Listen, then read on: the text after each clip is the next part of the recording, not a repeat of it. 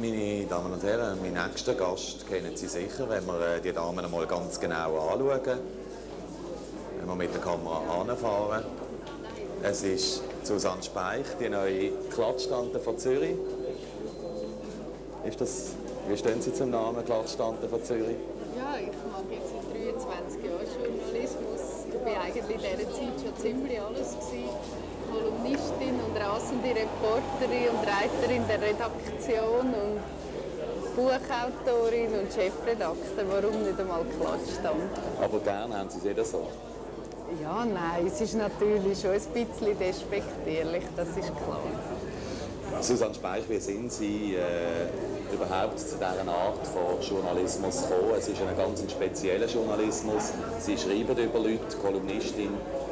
Vielleicht einmal in ein paar kurzen Sätzen, wie da der Weg war. Ja, also dazu bin ich ganz einfach, indem mich der Chefredakteur gefragt hat. Und da habe ich gefunden, ja, das wäre vielleicht für ein paar Jahre mal eine glatte Alternative zum reinen Redaktoren-Bürojob, den ich mache.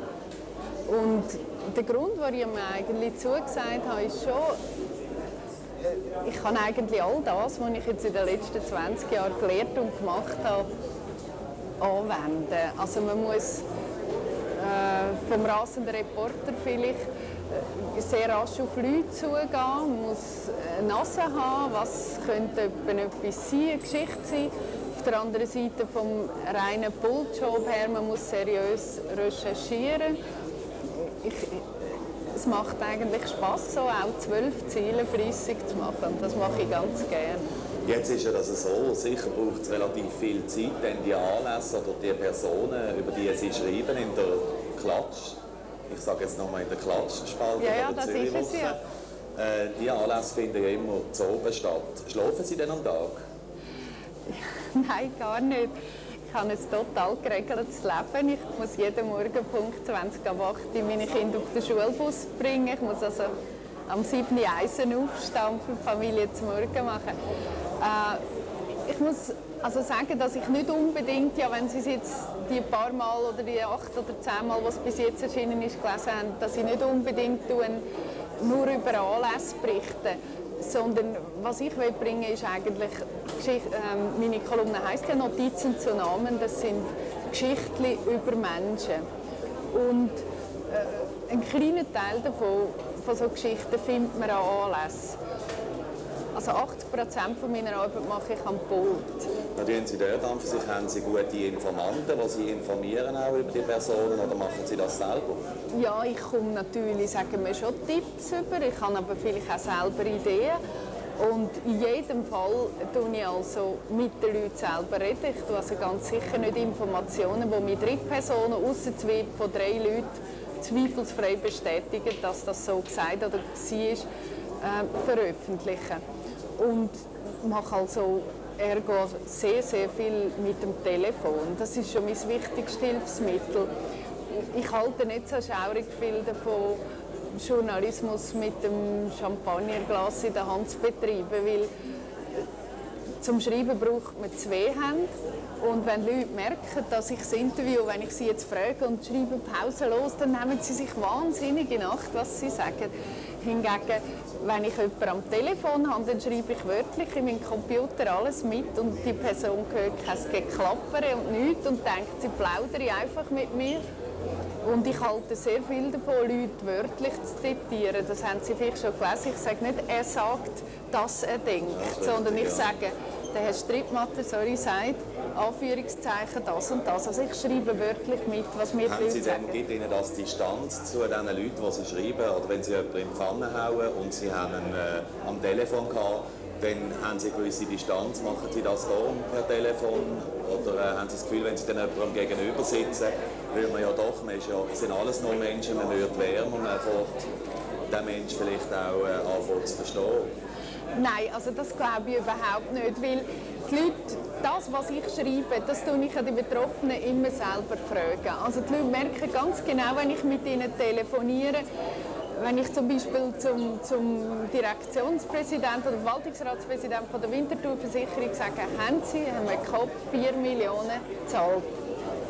Dann weiss er ja ganz genau, wo ich her will mit meiner Frage. Und er weiß auch, dass ich darüber würde schreiben und nicht, wo er jetzt den letzten Samstagabend verbracht hat. Also die Leute sind sich sicher, wenn man das Telefon aufhängt, äh, voll bewusst, was jetzt da wird erscheinen. Und ich tue einen ganz wichtige Satz immer noch mal wiederholen, nehme es auf Tonband auf. Ich sage also, darf ich Sie so zitieren? Sie haben gesagt, das ist eigentlich ziemlich klar. Und was Pfannenhauen anbetrifft, ich gehe natürlich nicht an Leute her und denke, das ist jetzt ein Blöden oder, oder so, dem, dem tue ich mal eins auswischen, sondern ich bin vielleicht an einem Anlass und sehe jemanden und rede mit dem und denke, ja, das ist ja unmöglich, wie der sich benimmt oder und dann äh, frage ich vier, drei, vier Sachen, ist das mit dem immer so? Und dann, wenn die sagen, ja, ja, das weiß ja jeder, man sollte es mal sagen, dann denke ich, warum kann nicht ich dem das einmal sagen? Was fühlen Sie denn persönlich, wenn Sie jetzt über jemanden äh, negativ schreiben? Haben Sie da ein persönliches, ich sage jetzt, Lustgefühl darüber? Finden Sie da, stellen Sie das auf? Nein, also was mich sehr aufstellt, ist, wenn ich etwas herausfinde, das ich nicht herausfinden dürfte. Das ist natürlich äh, das geheime Lustgewinn von jedem Reporter und Schnüffler, wenn man, wenn, wenn man etwas, was absolut geheim bleiben und unter den Tisch gewischt werden wenn, wenn man das dann doch kann, absolut hart machen kann. Äh, das andere würde ich eigentlich schon verneinen ich halte auch nicht sehr viel davon, Leute in die Pfanne zu hauen. Sagen wir, gerade in Bereichen, die allgemein bekannt ist. Wenn jetzt einfach bekannt ist, der sowieso leidet unter seinen Glatzen, dann sehe ich also äh, gar keinen grossen Nutzen auch der Öffentlichkeit, der Leser gegenüber, wenn ich wieder schreibe, der Glatzkopf sowieso. Was ich eigentlich lieber mache, ist bei Leuten, die von sich so ein absolut perfektes, fehlerfreies Bild vermitteln wollen, dort ein bisschen am Lack kratzen. Ja, das ist ja meistens dann auch gesund. Und äh, haben Sie, wenn Sie, wenn Sie das schreiben, haben Sie eine Ahnung, wer Ihre Leserschaft ist? Ja, also ich gehe äh, fest davon aus, dass, welche Kamera ist es eigentlich? dass äh, Zürich Woche 353'000 Leser hat und nicht 500 Leser.